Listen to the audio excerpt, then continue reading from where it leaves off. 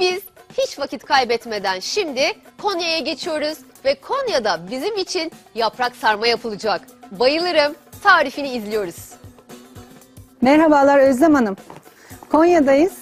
Konya'nın manevi havasında yaprak etli yaprak sarması yapacağız. Malzemelerimiz önceden yazdan hazırladığımız asma yapraklarımız var, ince, tazecik. Kıymamız var, bir su bardağı pirincimiz var, tereyağımız, salçamız var, iki adet soğanımız var, maydanozumuz ve baharatlarımız var. Ve soğanlarımı doğrayarak işe başlıyorum. Bismillahirrahmanirrahim. Gerçekten çok lezzetli olacak Özlem Hanım. Konya usulü sarmamız. Ben iki soğan kullanacağım. Soğanımız gerçekten çok yakışıyor sarmalarda. Bütün yemeklerde çok yakışıyor aslında. Tabi unutmuyoruz. Biraz sevgimizi de katıyoruz. Evet şimdi ikinci soğanıma geçiyorum. Doğramaya devam ediyoruz. Özel davetlerimizde, kabul günlerinde, akşam yemeklerinde, daha doğrusu sevdiklerimize daha çok yaparız. Evet soğanımızı doğradık Özlem Hanım. Şimdi maydanozumuzu doğrayacağım. Yine anne usulü. Şöyle ince ince doğruyorum. Tabi arılar da bu arada bizi yalnız bırakmıyorlar. Ağızlarının tadını biliyorlar. Doğal ortamda. Burası Konya Meram e, Mevlana Hazretlerinin kalabalıklardan sıkılıp ara sıra tefekkür ettiği Meram bağlarındayız şu anda. Bu manevi atmosferde harika bir etli sarmamız olacak. Evet maydanozlarımız da tamam. Şimdi maydanozlarım hazır. Eldivenimi takıyorum. Etimizi ilave ediyorum. Şöyle bir karıştırıyorum. Salçamızı, pirincimizi, tuzumuzu birazdan ekleyeceğim. Baharatlarımızı ekleyeceğim. Şöyle bir yoğur- yoğuruyorum. Bu arada tuzum da geldi. Ben yazdan hazırladığım için kavanozlara tuz koymamıştım yaprağımıza. Biraz tuz koyabiliriz. Salçamızın tuzu da var. Ee, biraz karabiber.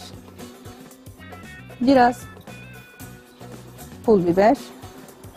Birazcık sıvı yağ. Birazcık da sevgi. Şimdi hepsini harmanlıyorum. Şöyle bir karıştırıyorum. Güzelce lezzetleri, aromaları birbirinden geçsin istiyorum. Gördüğünüz gibi arılar da bizi yalnız bırakmıyorlar. Doğal ortamda. Evet şimdi biraz toparlıyorum ve sarmaya başlayacağım. Şimdi tencereme önce asma yapraklarımı biraz yanmasınlar diye dizeceğim. Gördüğünüz gibi Konya'mızın sar- yaprakları incecik. Konya'da sarmayı çok minik minik sarıyoruz. Konya'da yaprak sarması yemek ve ayrıcalıktır. Dediğimiz gibi Mevlana Hazretlerinin kalabalıklardan sıkılıp dolaştığı meram bağlarının asmalarının yapraklarını sarıyoruz. Yaprağımı aldım ve size göstereyim. Harika görünüyor değil mi? Böyle. Şu şekilde elde sarılıyorum. Tahta kullanmadan. Şu şekilde sapını alarak Gördüğünüz gibi minnacık çatala birkaç tanesi aynı anda gelecek şekilde. Şimdi ben bu şekilde bütün yapraklarımı saracağım. Tencerem dolduktan sonra sosunu yapacağım ve ardından pişirmeye bırakacağım. Şimdi tencerem dolana kadar yapraklarımı sarmaya devam ediyorum.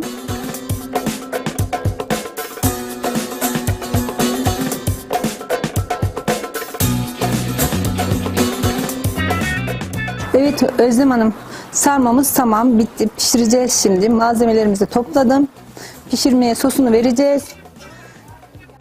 Pişirmeye bırakacağız. Sosunu bize tereyağını güzelce kavurduk. Birazcık salça ekledik. Birazcık da limon. Ve birazcık da sevgimizi kattık. Ve sosunu döküyorum gördüğünüz gibi. Tereyağlı ben limonun kabuklarının aroması biraz çok sevmediğim için limonun kabuklarını doğramadım. Limonun suyunu ekledim. Şimdi kapağını kapatıyoruz. Tenceremizin kapağını kapatıyoruz. Ocağımıza veriyoruz. Yaklaşık e, asma yaprağımız taze olduğu için çok çabuk pişecektir. Yaklaşık e, yarım saatte pişecektir. Yarım saat pişmesini bekliyoruz. Ee, yiyenlere afiyet bal şeker olsun. Evet Özlem Hanım, yaklaşık yarım saat geçti. Sarmalarımız pişti. Ben birazcık da dinlendirdim. Şimdi sunuma geçiyoruz. Ee, mutfağım şahane ancak bu kadar şahane bir sarma yakışır. Şimdi şöyle biraz Konya şeyle hoplatıyoruz sarmamızı ve ters kapatıyoruz. Şöyle şu şekilde. Tabii ki yanında yaprak sarmasının olmazsa olmazı yoğurdumuz var. Ben tarifini verdim. Yapıp deneyen herkese afiyet olsun. Yapamayanları da Konya'ya bekliyoruz. Konya'dan herkese sevgiler. Görüşmek üzere. Daha fazla video izlemek için kanalımıza abone olabilir, ilk izleyen olmak isterseniz bildirimleri açabilirsiniz.